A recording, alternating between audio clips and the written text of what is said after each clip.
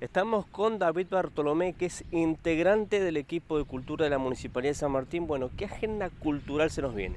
Bueno, eh, muy buenos días. Eh, ¿Qué agenda cultural?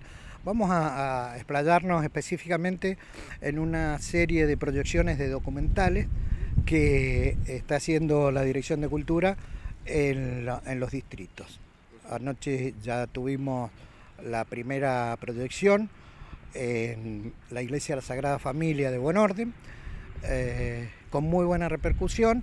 El, tema que se abordó ayer, el documental que se, que se proyectó ayer, hablaba del vecino más ilustre, es de la, la, importancia del general San Martín en nuestra ciudad, en nuestro, y aquí que estamos pisando lo que era su chacra de los barriales, y hablar de eh, cómo era admirado y reconocido en el resto del mundo el, general San Martín.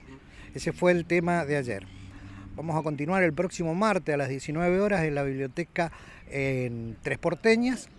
Allá en Tres Porteñas eh, se va a proyectar el, documental que habla del Museo Histórico Las Bóvedas. Y continuamos ya el, día 28, eh, nos vamos a Palmira, en la en la biblioteca Julio Argentino Roca, allá vamos a hablar de eh, Palmira, su historia.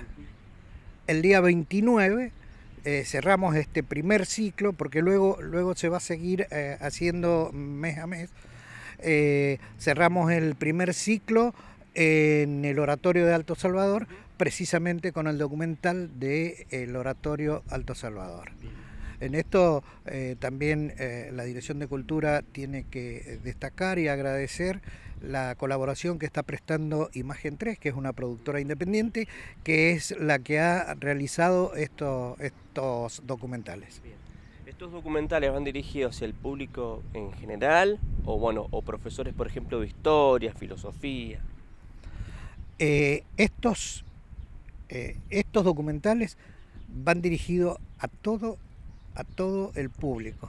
Mm, yo diría que desde niños hasta profesores de historia y todo el ámbito que, corresponda a una ciudad, porque hablan, estos documentales están haciendo el rescate del patrimonio histórico de nuestro departamento y también de nuestra provincia.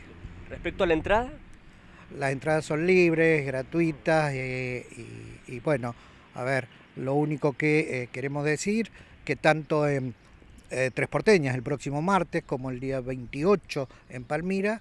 Eh, la cita es a las 19 horas y que el día 29 en el Oratorio de Alto Salvador es a las 20 horas.